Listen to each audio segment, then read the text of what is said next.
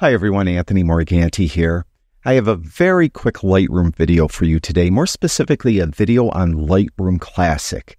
If you ever find that you have a difficult time finding a specific folder or collection in Lightroom Classic, there's a couple different things you could do that will help make that folder or collection stand out. The first thing you could do is you could give that folder or collection a color label. Now, if we look at the library module of Lightroom, in the left-hand panel, you could see we have the folders tab. And here I have a folder called Outer Harbor. And inside of this folder, I have another folder, July 30th, 2021. And let's just say, for the sake of argument, that I often access this folder for whatever reason. And I have a difficult time remembering July 30th, 2021 and I often click through all the other folders here. Well, I could give this folder a color label to make it stand out a little more. To do that, just right click right on the folder, then go to Add Color Label to Folder, and then give it a color label. I'll give this a red color label. And you can see that there's a little red bar there now, and it just makes it stand out. So I'm if, if I'm on another folder and I want to find this folder that I often access, I could just look for that red color label and jump to it right away. Works for collections as well. If you have a collection, I have a collection called Skies. These are the actual sky images that I give away for those that purchase my Photoshop course called Photoshop Unleashed. I'll have a link to that in the description below this video. But let's just say that I access this collection a lot. And let's pretend I had a lot more collections and find it uh, difficult to find it. Well, just right click right on it, then go down to add color label to collection. And let's give this one a yellow color label. And you can see there's a little yellow bar there. Now to remove the color labels, just right click on that folder or collection again, then go down again to this case, add color label to collection. But instead of giving it a color, just click on none and you'll see you'll remove it. And you could do the same thing for the actual folder as well.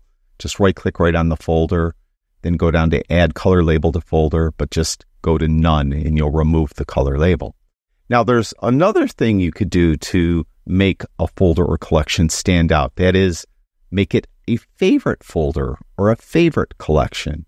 To do that, just be clicked on the actual folder collection that you want to make a favorite. Then go down here to the film strip. Now, the film strip has to be showing. So if your film strip isn't showing, make sure it is by clicking the F or tapping the F6 key. Then You'll notice right here it has the file name that I happen to be clicked on. Well, that's actually a little menu. Click on that and a menu will appear. And you could go down here to add to favorites.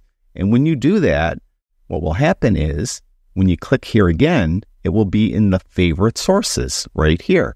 So it doesn't matter what folder you happen to be in. It could be in another folder. Just click there, go to your favorite sources and click on it like that. Same thing for a collection. I'm in this collection skies again.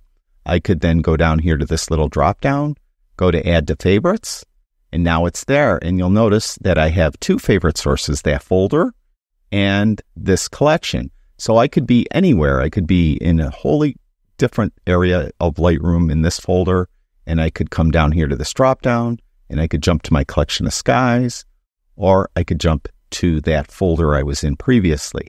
Now, if you want to remove something from favorites, just make sure that you're in that folder and then go to this drop down again and then go down here to remove from favorites. And when you do, it will remove it from your favorite sources. Same thing for that collection. Just make sure that you're on the collection that you want to remove from favorites. Go to the drop down, click on it, and remove from favorites. And now you'll notice I have nothing in my favorite sources. So those are two different things that you could do to help you make a folder or collection stand out a little bit so you could more easily find it. Thank you, everyone who watches my videos. I really do appreciate it. Talk to you guys soon.